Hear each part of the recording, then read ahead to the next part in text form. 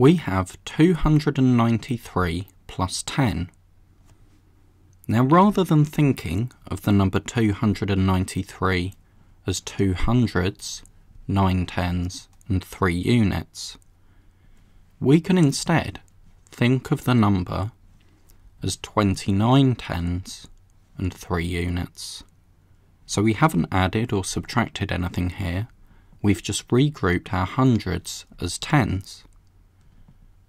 Now we're adding 110, so if we add 110, we now have 30 tens, so we have our answer 303, because we know that 30 tens make 300s. So 29 tens plus 1 10 gives us 30 tens, and we can regroup these 30 tens to make 300s. Now what is 285 plus 20? Again, rather than thinking of two hundreds, eight tens, and five units, we can regroup to make 28 tens, and we're adding two tens, so let's add one, two tens, and that gives us 305 because we have 30 tens. And of course we can regroup these 30 tens to make 300s.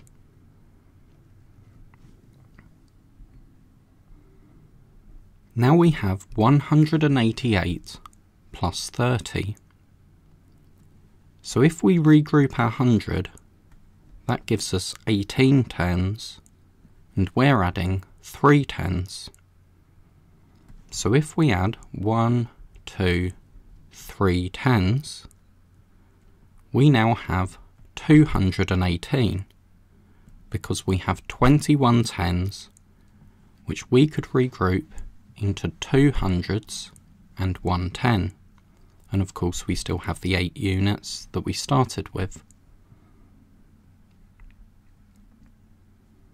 Now what is 254 plus 70. Well, if we regroup, we have 25 tens, and we're adding 7 tens. So let's add 1, 2, 3, 4, 5, 6, 7 tens. That gives us 324, because 25 tens plus 7 tens gives us 32 tens, which we could regroup into 300s and 2 tens. And of course we still have the 4 units that we started with, so we have 324.